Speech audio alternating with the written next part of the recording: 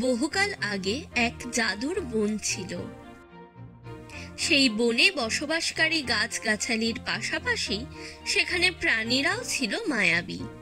তারপর একদিন এক শিকারী পশু ধরতে সেখানে যায়। আজ আমি এই জঙ্গল থেকে অনেক প্রাণী ধরে আমার সাথে নিয়ে যাব। তারপর সেই জাদুকরি প্রাণীগুলো বিক্রি করে অনেক টাকা পাবো। তখন সে সেখানে এক বড় জিরাফ দেখতে পায়। জিরাফটি গাছের পাতা খাচ্ছিল। শিকারী তাকে দেখে খুব খুশি হয়। ও বা অবশেষে আমি এই প্রাণী খুঁজে পেয়েছি। এখন আমি এই জিরাফটাকে ধরে আমার সাথে নিয়ে যাব। এরপর শিকারী জিরাফের কাছে আসে। আরে, তুমি কে? আর এই বনে কেন এসেছ? এই বনে মানুষের আসা কঠোরভাবে নিষেধ। তাই এক্ষুনি এখান থেকে পালিয়ে যাও, না হলে ভালো হবে না। এই বলে জিরাফ মুখ থেকে আগুনের একটা বড় গোলা বের করে দেয়। আগুনের গোলা শিকারীর দিকে যেতে থাকে। কিন্তু তারপর শিকারী তার ব্যাগ থেকে একটা বড় জাল বের করে সেই আগুনের বলের উপর রাখে। এবং পরের মুহূর্তেই সেই আগুনের বলটি বরফের বল হয়ে যায়। এরপর শিকারী তার কাছে রাখা পাত্র থেকে জল বের করে জিরাফের শরীরে ঢেলে দেয়। এবং পরের মুহূর্তে জিরাফের শরীর ছোট হয়ে যায়। এখন তুমি আমার গতি করতে পারবে না। আমার সাথে চলো। এই বলে শিকারী জিরাফটিকে তুলে নেয় এবং তার ব্যাগে রেখে ওখান থেকে চলে যায়। পরের দিন শিকারী জিরাফটিকে একটা খাঁচায় নিয়ে তার গাড়িতে নিয়ে যায় এবং এক জাদুকরের বাড়িতে বিক্রি করতে যায়। ঠিক তখনই পথের মাঝে শিকারী একটি মিষ্টির দোকান দেখে। মিষ্টি দেখে শিকারীর মুখে জল চলে আসে। ও বা খুব সুস্বাদু মিষ্টি বানানো হয় দেখছি এই দোকানে। আমার মিষ্টি খেতে খুব ইচ্ছা করছে। এরপর শিকারী তার গাড়ি থেকে নেমে মিষ্টির দোকানে পৌঁছে মিষ্টি কিনে খেতে শুরু করে। অন্যদিকে এক দরিদ্র মহিলা গাড়ির পাশ দিয়ে যাচ্ছিল। মহিলার পরনে ছিল ছেঁড়া পুরনো কাপড়। সে তার জীবন ধারণের জন্য ভিক্ষা করত এবং সেই ভিখারি মহিলাকে দেখে জিরাফ তাকে বলে, শোনো, একজন খারাপ শিকারী আমাকে জোর করে ধরে দয়া করে আমাকে এই কাঁচা থেকে বের করো।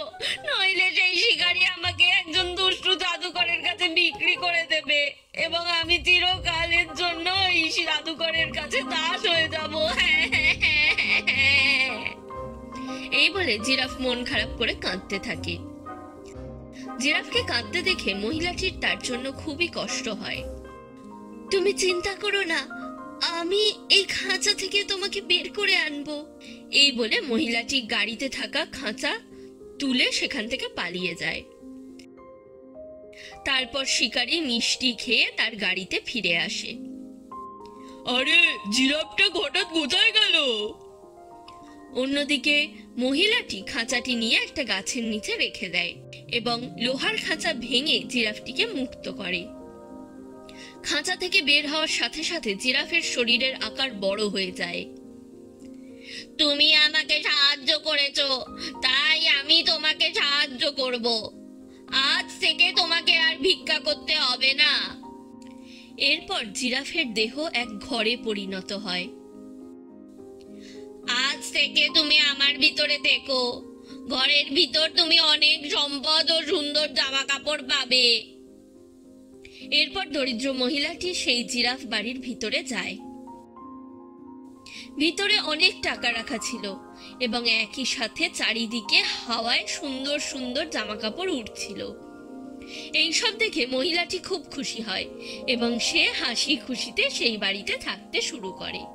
কিন্তু পরের দিন শিকারী সেখানে আসে। জিরাফের বাড়ি দেখে শিকারী খুব রেগে যায়। এবং সে সাথে সাথে তার ব্যাগ থেকে একটা ছোট রাক্ষস বের করে মাটিতে ফেলে দেয়।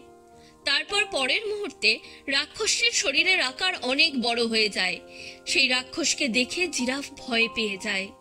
জিরাফ, তুমি কি ভেবেছিলে তুমি আমার থেকে এত সহজে পালিয়ে যাবে? এখন আমার এই রাক্ষস তোমাকে তুলে সেই জাদুকরের বাড়িতে নিয়ে যাবে। তারপর রাক্ষসটি এগিয়ে যায় এবং জিরাফের বাড়িটি তুলে নেয়। কিন্তু তখনই বাড়ির ভিতরে থাকা মহিলাটি এই সব দেখেন আরে না, আমাকে এই জিরাফ বাড়িটা বাঁচাতেই হবে। তারপর মহিলাটি ঘরের ভিতর এক বড় গদা দেখতে পায়। সে সেই গদাটি তুলে রাক্ষসের মাথায় মারতে থাকে। মরে গেলাম।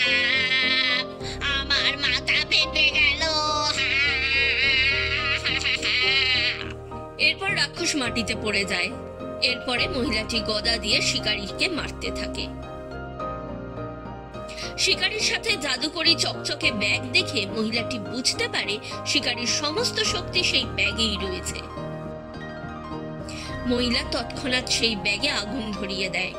ব্যাগটি পুড়ে যাওয়ার সাথে সাথে রাক্ষসটি সেখান থেকে অদৃশ্য হয়ে যায়। এই দেখে শিকারী আতঙ্কিত হয়ে পড়ে। আরে না, এই মহিলা আমার ম্যাজিক ব্যাগ পুড়িয়ে দিয়েছে। এখন আমার সব ক্ষমতা শেষ। এখন এখান থেকে পালিয়ে যাওয়াই আমার পক্ষে ভালো। এরপর শিকারী ভয়ে সেখান থেকে পালিয়ে যায়। এবং সেই দিন থেকে আর কখনো সেই জিরাফটিকে ধরার সাহস করে না। এইভাবে সবকিছু ঠিকঠাক হয়ে যায়। এবং মহিলাটি খুশি আনন্দের সাথে জিরাফ বাড়িতে থাকতে শুরু করে।